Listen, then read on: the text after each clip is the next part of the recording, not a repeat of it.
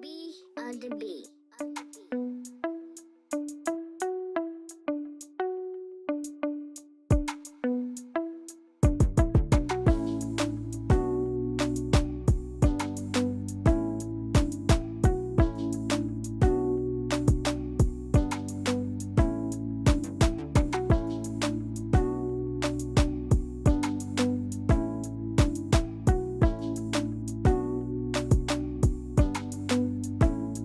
Hi everyone!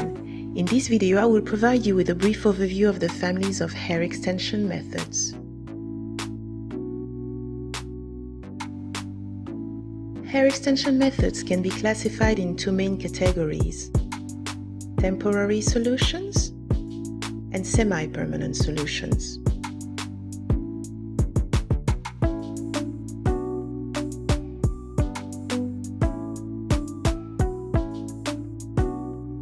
Temporary solutions such as clip-ins or flip-ins allow you to remove your extensions as fast as you fix them in your hair.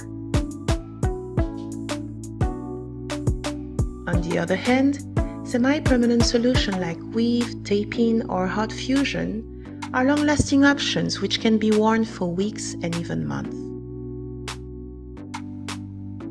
À propos, the variety of techniques to install semi-permanent hair extensions allows to further distinguish three subgroups of methods as you can see on the right part of the graph. Weft hair extensions, strand-by-strand methods, and micro-weft extensions. As a matter of fact, micro-weft extensions are some kind of hybrid version between weft hair extensions and strand-by-strand methods, but we will tackle that in a dedicated video. So for now, let us not enlarge too much on the characteristics of each technique, as we will shortly post videos detailing each technique mentioned in this graph.